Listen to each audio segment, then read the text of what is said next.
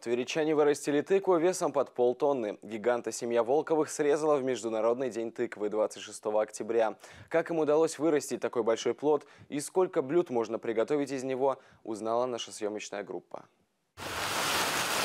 Знакомьтесь, это Крези. Самая большая тыква, выращенная в Твери. Талия 2 метра 40 сантиметров, высота 2 метра 47 сантиметров. Такой размер не случайность. Цель, которую поставила перед собой Наталья, достигалась ею последовательно день за днем. А еще девушка загодя запаслась семенами у российских тыквенных рекордсменов и решила поставить эксперимент, который с первой попытки увенчался успехом. Мы посадили четыре тыквы в надежде, что кто-нибудь, какая-нибудь одна вырастет. Выросли все четыре. А вот эта тыква самая большая, она 430 килограмм, предварительный расчет. А следующая тыковка у нас была 403 килограмма и две в районе 250-220. Резать такую малышку обычным ножом не получится. Для этого понадобится настоящая пила.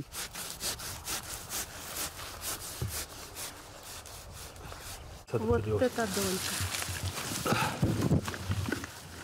Тыкву-карету для Золушки удалось вырастить тверичанам. Вес такой малышки ни много ни мало 430 килограмм. А одна долька весит порядка 30 в этом году Наталья представила свою тыкву на всероссийском конкурсе «Тыква Баттл», где она заняла третье место. Главное условие конкурса – вырастить тыкву максимально естественно, только на органике. За границей тыквоводы обычно тратят огромные средства на удобрение. Тверскую же тыкву растили на навозе, перегное, то есть на всем том, что есть на каждом участке. Я посадила эту тыкву совсем небольшим растением, то есть она была ну, где-то с палец толщиной. И сейчас вот посмотрите, какой у нее ствол.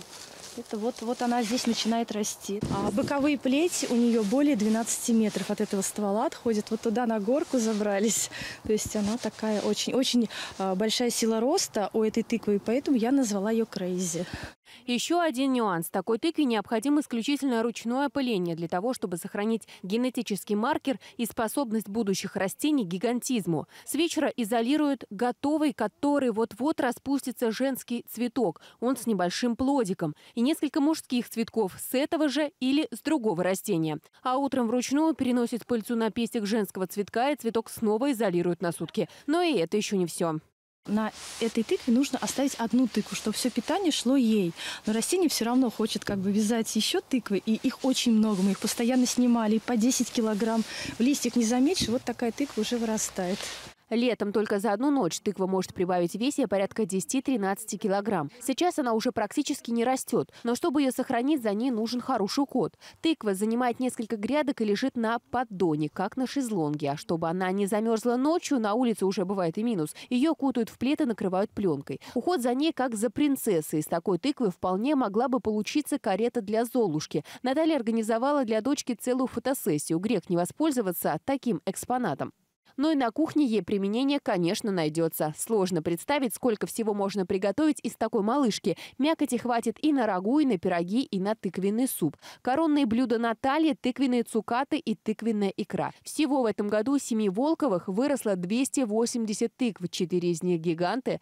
У Волковых уже есть планы на следующий сезон вырастить тыквы еще больших размеров, а также попробовать растить гигантские арбузы.